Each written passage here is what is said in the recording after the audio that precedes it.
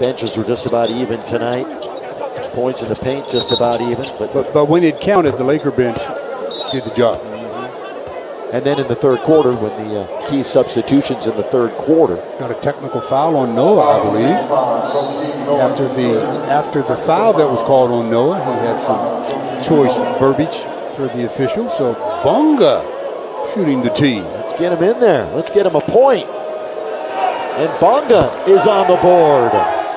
Welcome to the league. So we saw Mo, who's the first one to congratulate him.